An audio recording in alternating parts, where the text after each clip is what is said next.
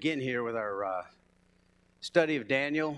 We'll just keep slogging on through here. We've uh, the good news is, is you only got me for today, and then you're going to get a, a, break of a couple of weeks with some real teachers that'll come up, and then they'll go over probably chapter six and seven. So that'll be that'll be a nice break for y'all. You can uh, you can relax then. And uh, in Daniel three, we kind of left off. We were talking about the these three courageous young men that are standing before this fiery furnace, and we were asking the question. You know, is is God able? Right because that's what Nebuchadnezzar wanted to know. He wanted to know, is God able? And they said, God is able. The God we serve is able. But how about this? How about these questions? You think they're easy. Is the God of the universe, is the God that breathed the universe into existence with his very word, is that God able to deliver? And we say, well, that's a it's a simple question. You know, like if you, even if you were a non believer, hypothetically, if there were a God that had created the universe, is he able? You'd, you'd think that the answer is a simple yes. Let me tell you that it's more difficult than that. I'm going to give you a story. Probably some of you have heard this. That's a sign of old age. You keep telling the same stories over and over. You just change the details a little bit. But my roommate, when I first went into the Air Force, was a great young man named Mike Morris. And he and I roomed together in what we call a flight screening program, which meant they're not going to spend any money on you unless if they find out you can't fly or you get sick in the airplane or whatever. So that's all they did is they sent us out to Hondo, Texas, in the middle of nowhere, and you'd fly these little bug smashers around in the in the heat of the summer and bounce around, and then you had to pass that course before they'd even send you to officer training school. Mike and I were roommates, which was unfair to me because I, uh, you know, I barely got through school, you know, needed all the help I could get. Mike, on the other hand, was an astrophysics, you know, major from MIT. That's right. That's the way I felt like, you got to be kidding me. So Mike just, I mean, uh, his mind out of this world. But, you know, the thing that really angered me was how dare, you know, that God would give him all the talent, not only in mind, but in body and athletic ability. You see, Mike, uh, his, his father was black, his mother was white from Germany, and Mike was about six two. There's nothing he couldn't do. Like when he went into a test, he would memorize the test in about 10 minutes. He could figure out any aerodynamic problem we had. And of course, I had them all, and I was always going to Mike. But then when we went to the basketball court, he would drag us up and down the basketball court and jam at will. Then we went out to play mush ball. You ever played mush ball where they make the ball really big and heavy so that it stays in the playing field and that we don't have, you know, athletes hitting it out of the park and everybody has to play and all that? Well, I had played college baseball. I thought, well, certainly I could hit, but I knew I couldn't hit the mush ball out of the park, so you just had to go for base hits or whatever. Mike would step up there and drive it out of the park. He said he used to play this game with his dad, where his dad would take him to the golf course, and he would sit out there on the golf course, and his dad would start betting with his other friends. He'd say, My caddy over here can outdrive you guys. then Mike was the caddy. And he would step up in the middle of the course, and then he would grab anybody's driver and drive the golf ball 300 plus yards with a nice little draw right in the middle of the fairway. So I thought, how unfair is that, Mike? But anyway, Mike was such a super guy uh, he went on to fly F 111s. He went to uh, pilot training with me at Willie, but he was a Bible reader. And every night I would pull out my New Testament, and I'd start reading. So Mike said, you know what, I'm going to start reading as well. So at night we would read. And of course, the lights out were supposed to be about 1030 or something, but we would stay up with our flashlights. We'd get into all these long Bible discussions. Now, Mike, being the astrophysicist that he was from MIT, he would say, well, the, the, we know that the, the world is, you know, this universe is probably billions of years old. I said, well, Mike, how do we know that? He says, well, we know, you know, there's stars that we're looking at that are 100 million light years away. I said, what does that tell you?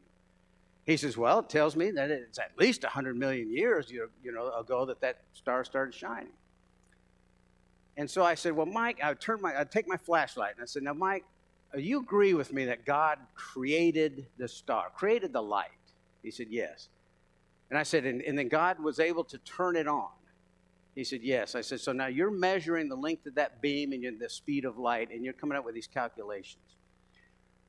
I said, But you know, if that God is that powerful and able to create it all, could not he have done this? And I would pull my flashlight out from under the blanket and go like that. And I'd say, You see what I did? It's not, I didn't turn it on, I just put it out in space. I said, in other words, when Adam looked at God, Adam could have said the same thing. The speed of light is this. And God would have said, yes. He goes, and that star is 100 million light years away. And God would say, yes. And he'd say, then God, uh, you created that star 100 million years ago. And he'd say, no, I created it on day four, two days ago. In other words, is the God of the universe able? And what I would tell Mike is, I would say, yes, he's able. Why are you putting God in some kind of constraint he who created the entire universe now has to obey the very laws of physics that he made and wrote. Because that's what Mike believed in. He said, Well, these are the laws of physics. I said, And who wrote those equations? And did they come before the universe so that God was beholding to the very laws that he wrote? But that's the way people think. So when I ask you a simple question of is the God of the universe able, it's not that simple of an answer for a lot of people. The second one is, of course, is the God we serve able? Is the God we serve, you and I, able to do the things that we read about in the, in the Bible? Is he able to deliver you from the angst of your life? Is he able to deliver you from the angst of the things that your children have been involved in, or uh, you know, a husband that's been incarcerated, or or these things, the problems that we have, or the drug addictions that come our way, and all the things that just you know beat us down into the ground? Is the God that we serve able? Are we still serving a God that w- that is not able?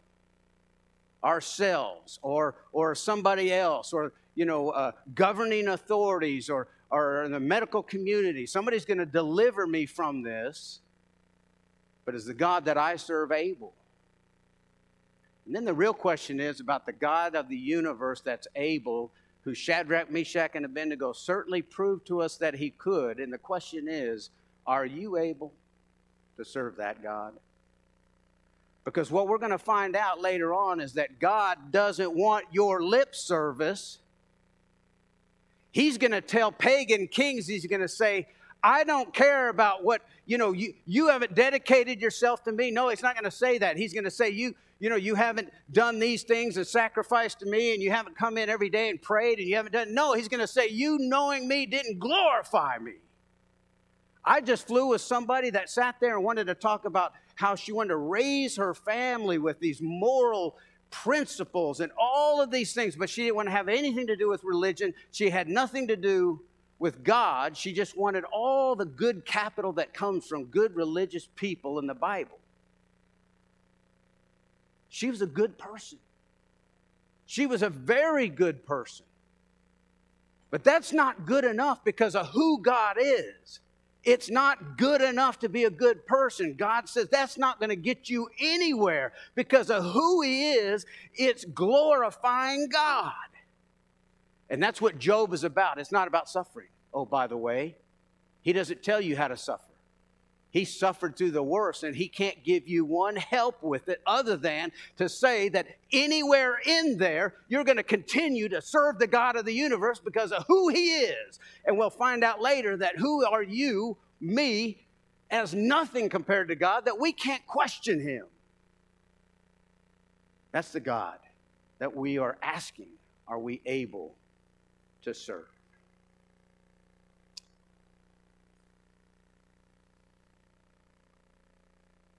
God used a miracle that day, a miraculous delivery. If you think about Shadrach, Meshach, and Abednego, they probably did not, did, you know, until Daniel had a dream given to him, would, would these three young men have grown up in a miraculous age? The answer is no. The miraculous age of the Old Testament, certainly. But in their lifetime, what did they see? Nothing but paganism, idolatry, and syncretism in the, in the gods of Israel and the kings of Israel and the people and the priests and all of this apostasy that had happened. That's what they grew up with. They didn't grow up watching miracles. Not one until Daniel. And that was an interpretation of a dream. The very in, in, in very few years, they're in a situation where they're faced with this furnace. And they're saying, you know, our God is able. And of course, were they thinking of a miraculous delivery? I don't know. We take it for granted they were. Why do we do that? Because that's how it turned out. Did they know the end of the script? Were they told by God, oh, don't worry about this? No, they said, but if it be so, but if not, but if not, we're just not bowing down. And so they end up going into the fiery furnace.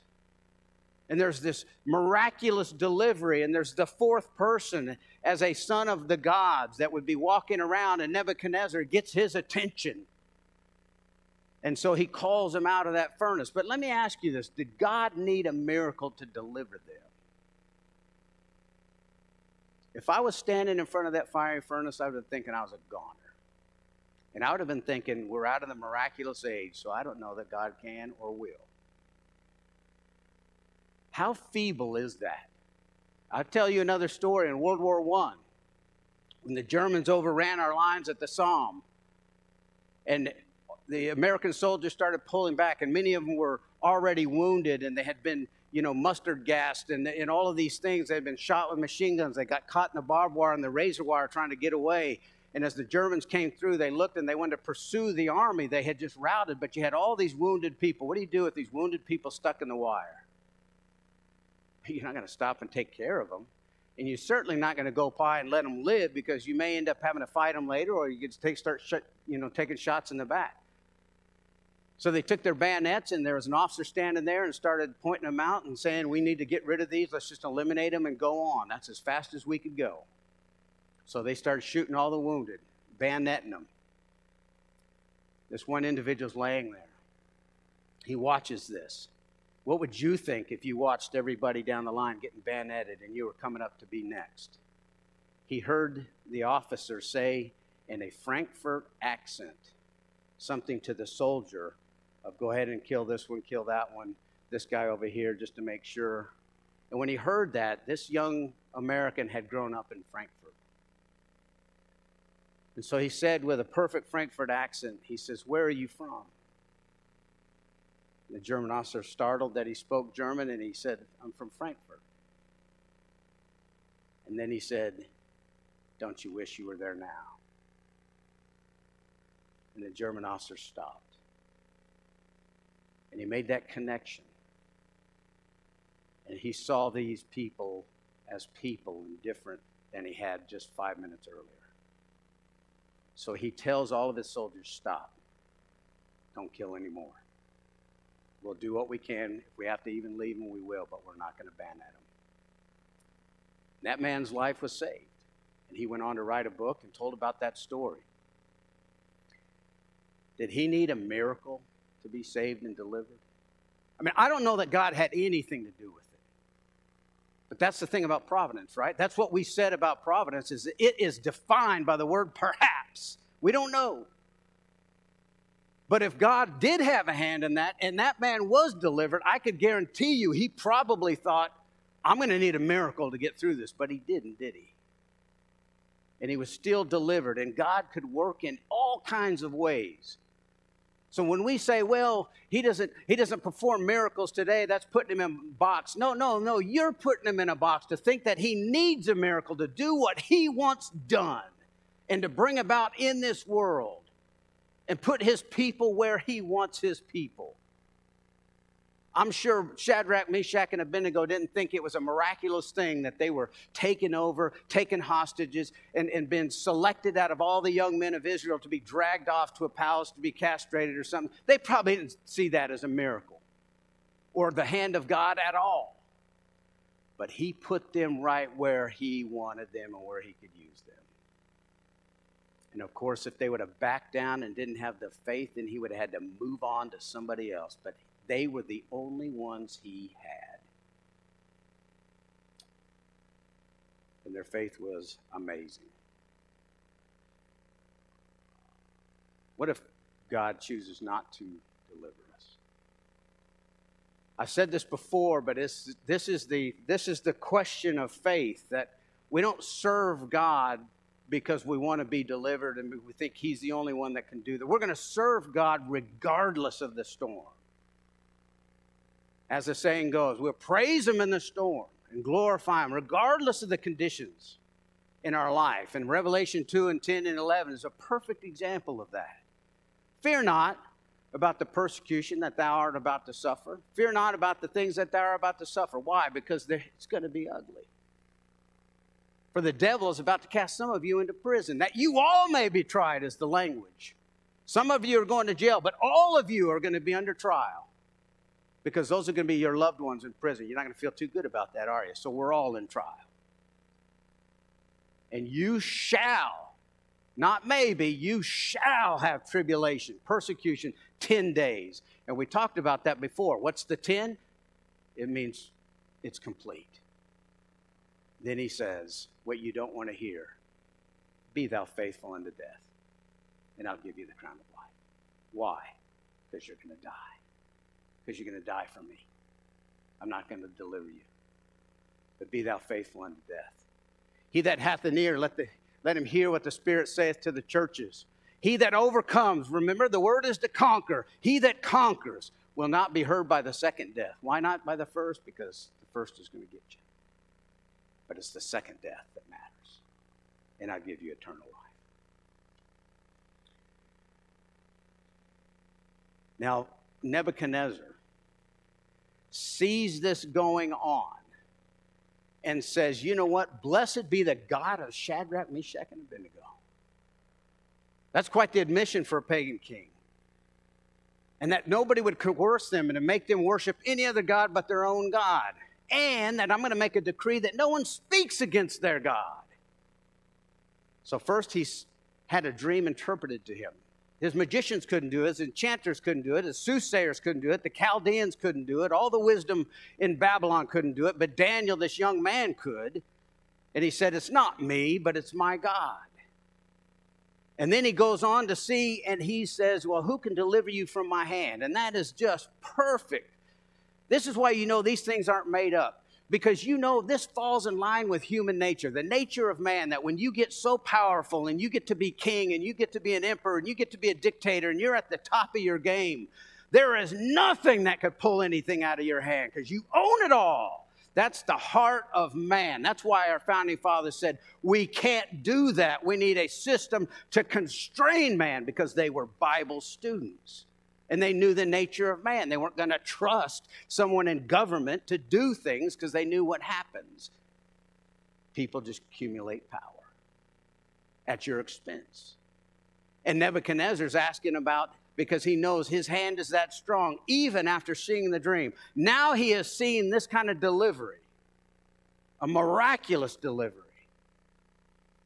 And notice, he still is not going to understand he still is going to be mixing a little bit of Israelite theology with the pagan gods that he has. You can think of Jeroboam, you can think of Ahab. Does it ever work out very well? When the Jews were sent down into Alexandria on maybe some of the first kind of mission type trips that Israel ever had, they went down there and they didn't do so well because after being exposed to all the knowledge in Alexandria, they started bringing in all of these other things into the temple that they had built for themselves.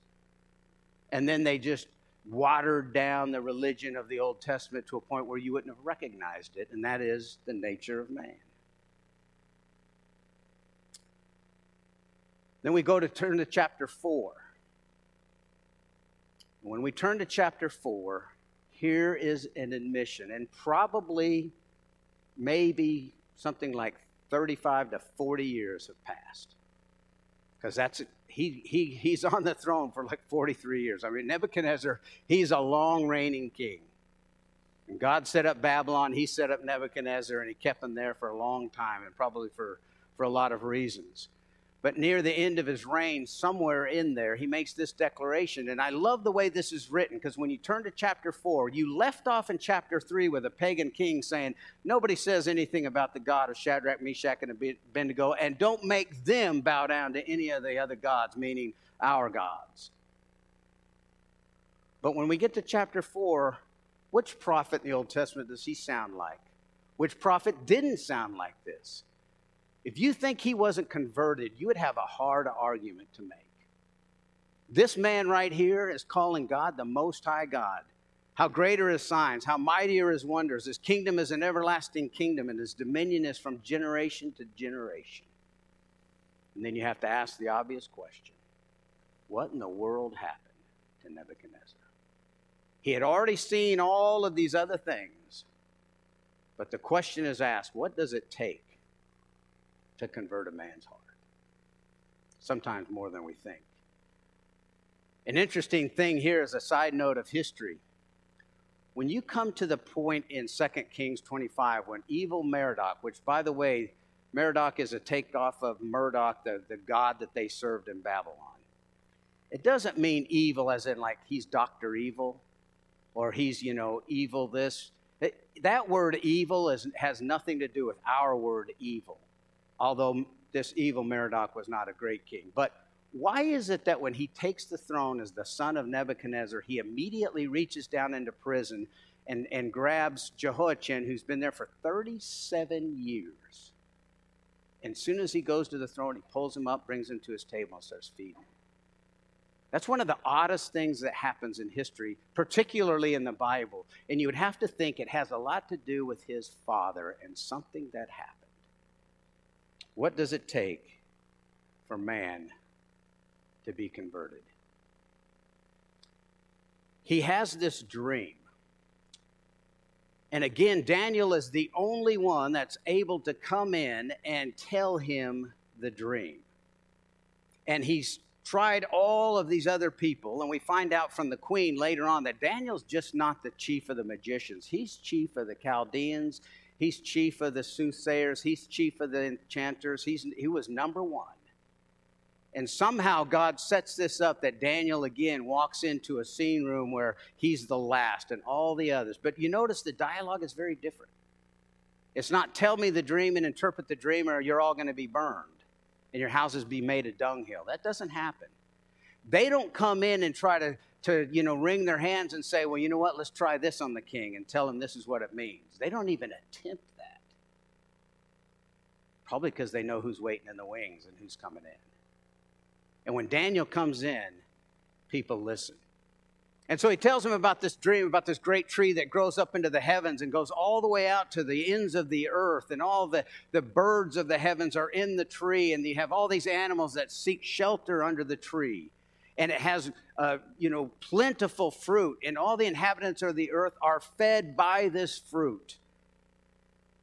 It all seems to be going great until the watchers come down, the holy ones, and they say, cut it down prune off all the branches, scatter the fruit, scatter the leaves, get the animals out from under this tree, but leave the root with a band of iron and a band of brass. When Daniel's done telling them the dream, you could tell Daniel has a soft spot in his heart for Nebuchadnezzar. You can tell he's troubled. He doesn't quite want to come up and tell Nebuchadnezzar exactly what it means, and, and he's having a hard time, but he's like, This is for those that hate you. This is according to those that would want you down because he tells him, You know, you're the tree. And Nebuchadnezzar had already seen that it was by, by the demand of the watchers, the decree of the watchers, and the word of the holy ones, till the living knows that the Most High rules in the kingdoms of men, that the Most High ruleth over the kingdom of men and giveth it to whomsoever he will. And he sets up over it the lowest of kings. That's one of our themes of Daniel, isn't it? That God is in control. But to do this, he's going to take Nebuchadnezzar and he's going to change his heart and give him the heart of a beast. Let's think about this for a second the heart of a beast instead of a man. When we read these passages, the fear of Jehovah is the beginning of wisdom. I've told you before that I thought maybe that was spiritual wisdom, biblical wisdom. The fear of Jehovah is the beginning of knowledge. I thought maybe that was biblical knowledge, spiritual knowledge, but the foolish despise wisdom and instruction. The fear of Jehovah is the beginning of wisdom, and the knowledge of the Holy One is understanding maybe in spiritual matters. I think I'm very wrong. I think when people divorce themselves from God and take God out of the picture, they absolutely become irrational and they have to stay irrational to keep their worldview. Let me give you an example. When I went to space school out in California, they talked about a communication system there that was so complicated I hardly could hang on to the whole material. But it was about taking a communication set and encrypting and, and encoding all this information and then sending it thousands of miles up into space to the satellite. The satellite would know out of all the other things it's bombarded with, that's my package right there. None of the others, just that one. Then it's going to grab that package, but it can't read it because it's encoded. So it brings in the decoder ring, you know, and so it decodes it. Then it takes that information, and because that information is in the same language as the satellite, it reads that information and it makes a burn, it makes a tor- turn, it does something with its systems and then it encodes information to say, This is what I've done. And then it encodes that and sends it back to the station on Earth. And when Earth station receives it, it says, That's my package. Out of all the packages I'm getting bombarded with, that's mine. And then it unpacks it, and then it says, Well, I need to decode it. And so it decodes it with a preconceived information system, and then it's able to read that information. Nobody in this universe would think you could have people speaking different languages with different ideas make all the different components and go, boy, I hope this works out. In other words, information has to be, it's an agreed upon script. It's a, it's, a, it's a language that both sides need to understand. And when you and your friend got a decoder ring out of the cereal box, you knew you both had to have the same decoder ring or the thing wouldn't make any sense. Now, did I just explain to you the satellite system or did I just explain to you DNA? That's right. That's exactly what happens in the human body every day in this cell. So when James Watson, Francis Crick, in 1953, discovered this, when they were looking at this information, now James Crick, partic- or Francis Crick particularly, is an atheist, big skeptic, big Darwinist. And this blew him away so badly, he had to change and alter something about his worldview. So he changed that worldview to say, you know what? There's no way this information could have just come over a period of time. Given time, there's not enough miracle for this to happen. Information comes from higher intelligence and it's an agreed upon system. So he said, We have other life higher intelligence out there somewhere that has brought information and planted it here on earth to jumpstart all of this evolutionary process. Now, he may have had an IQ a lot higher than mine, I'm sure. But that's the most imbecilic thing I've ever heard. That when you get to the point where the evidence is so clear, that he now says, well, there's an intelligent source out there, much higher than ours, that in the past just must have come to earth and planted this information. So remember when Richard Dawkins was getting interviewed by Ben Stein and he was asked about this thing, and Richard Dawkins, the leading atheist of the world, said, Yes, I think that's a possibility. But then he turned around and said, But we know that whatever intelligence is out there, that it had to have evolved. What kind of scientific statement is that when you know nothing of the kind? But they need they needed a higher intelligence source to be planted. So what I tell you is the fear of God is the beginning of all wisdom and knowledge. And to keep your rational mind because without God we cannot live. The heart of a beast. For the wrath of God is revealed from heaven against all ungodliness and unrighteousness of men. We're talking about the heart of a beast in mankind throughout the ages, not just Nebuchadnezzar in the field. All ungodliness and unrighteousness of men who hinder the truth in unrighteousness. Because that which is manifest of God is known unto them. Because God manifested himself unto them. For the invisible things of creation are clearly seen. Since the beginning of time, being perceived of the things that he made, even his everlasting power and divinity, that they may be without excuse. Therefore, knowing God, they glorified him not as God, neither gave thanks, but came vain in their reasoning, and their senseless heart was darkened. Professing themselves to be wise, they became fools and changed the glory of the incorruptible God for the likeness of an image of corruptible man, birds, four footed beasts, and creeping things.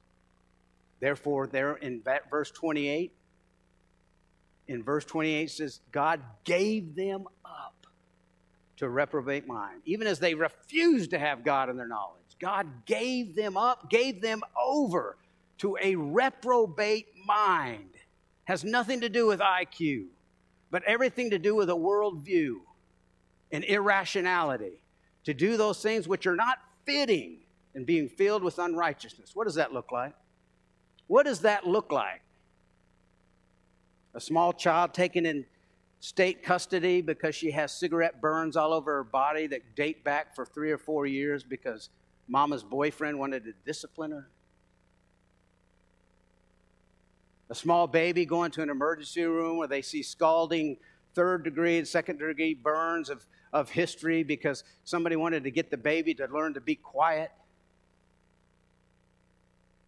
13 year old girls taken off of a bus by a bus driver to be locked in his basement for several years, even just blocks from their home.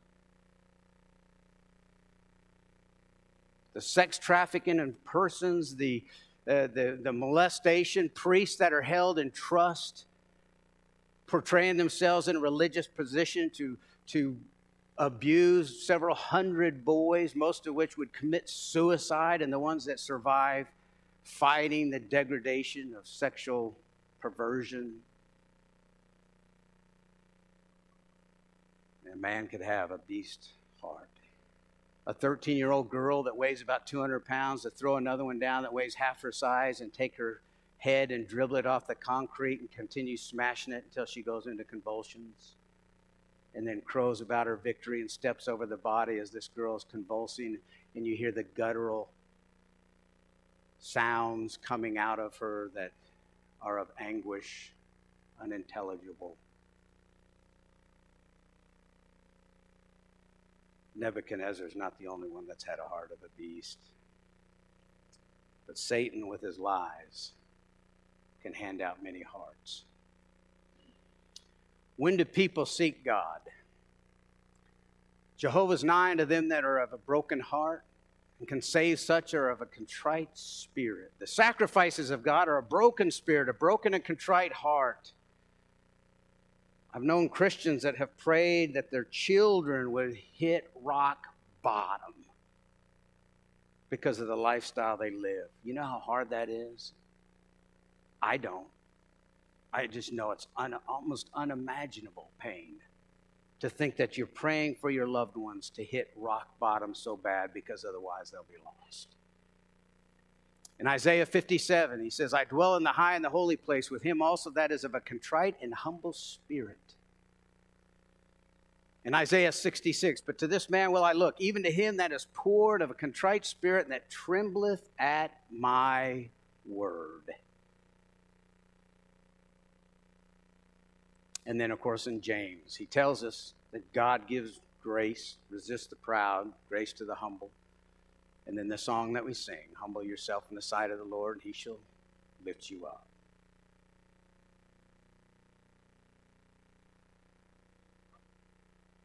Daniel 10 and 12. I love this passage. I love this verse. In fact, I think I'm going to add it to the final at the end of the quarter. So write it down. This one is amazing to me.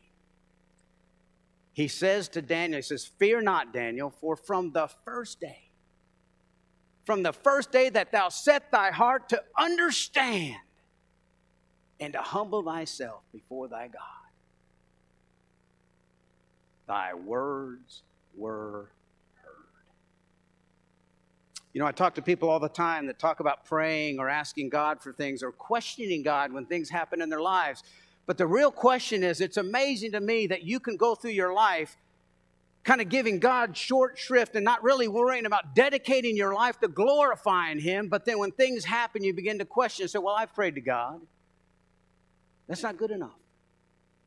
That's the whole thing about religion. And man just seems to think, well, I believe in God. That's okay for me, when, as if it's a choice. But we're going to find out later on in chapter 5 that Belshazzar, he's going to be getting all over him. And he's saying, because you didn't glorify me, because of who God is, that he deserves that for our very existence here is dependent upon that. And he has our breath in his very hand.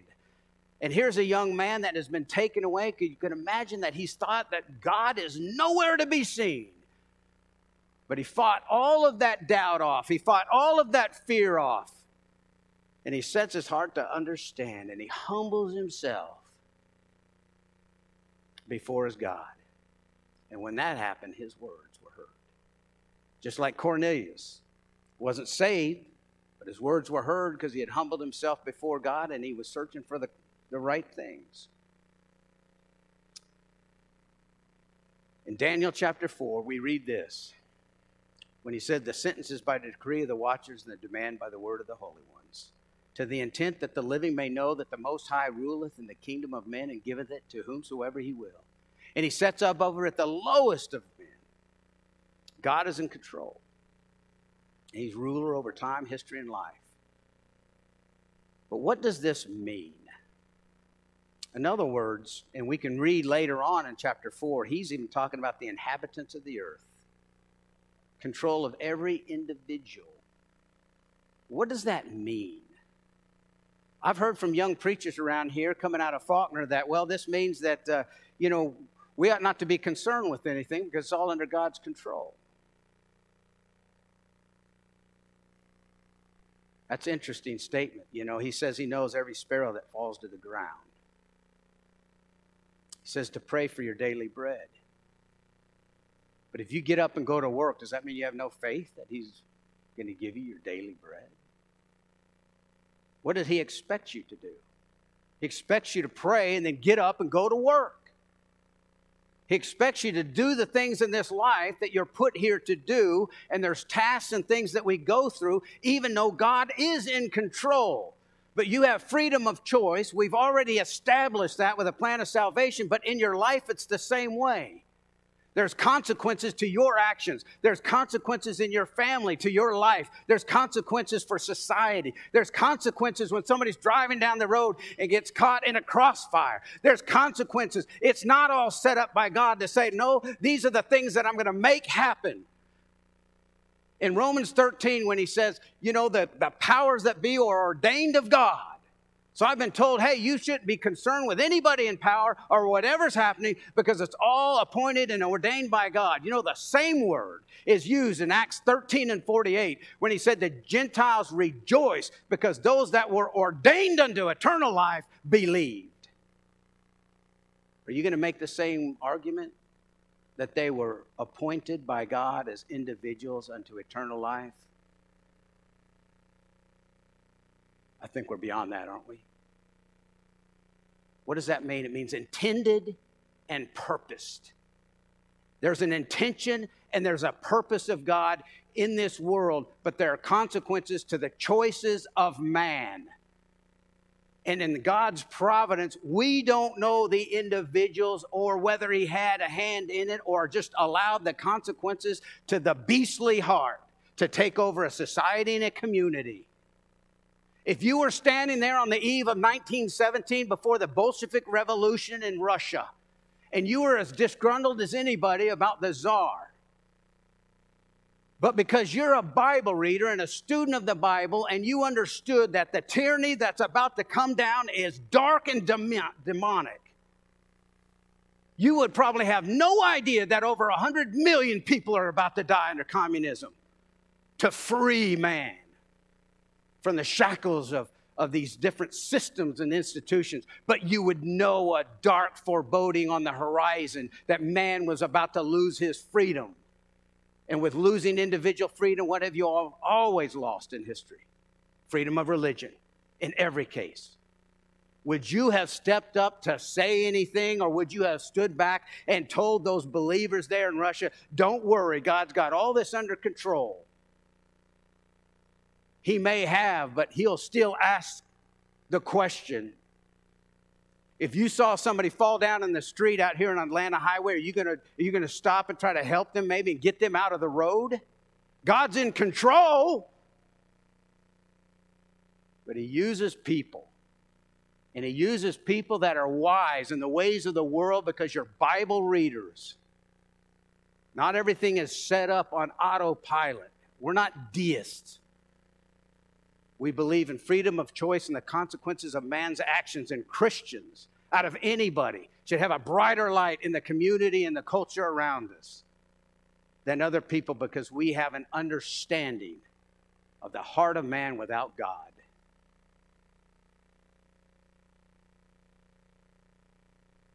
What is the nature of man? What is the nature of man? In Second Chronicles 26 and 4, this would be a great test for young people, wouldn't it?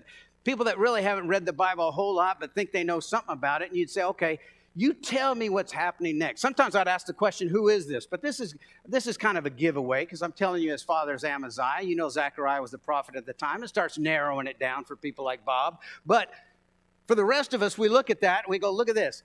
As long as he sought the Lord, God made him to prosper. And he made in Jerusalem engines invented by cunning men to be in towers and upon the bulwarks, to shoot arrows and great stones. You can think of the Middle Ages with big catapults. Long before the Middle Ages, this is going on in the Middle East and in Palestine. And he said his name spread far abroad, for he was marvelously helped until he was strong. And you could ask young people, what comes next?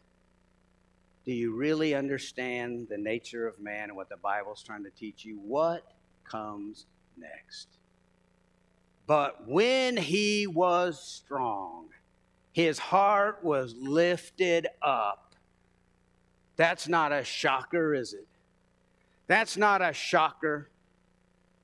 His heart was lifted up to his destruction. Even the great Hezekiah who was maybe the greatest king in the Old Testament besides David, but probably had uh, more things said about his righteousness than any other king. At one point, his heart was lifted up and he turned from God and had to be broken back down to his knees. And we're going to find that out with the pagan kings as well. I always stop and try to think I'd hate for God to have to think that He has to break me down to my knees. That unlike Daniel, I wouldn't be willing to step down and humble myself before my God and to set my heart on understanding His will and His way for us. The lessons of Daniel are absolutely incredible, and they're going to continue on through time as long as man is on this earth because it describes our nature to a T and the relationship that God's people need to have with God. Thanks so much for your kind attention.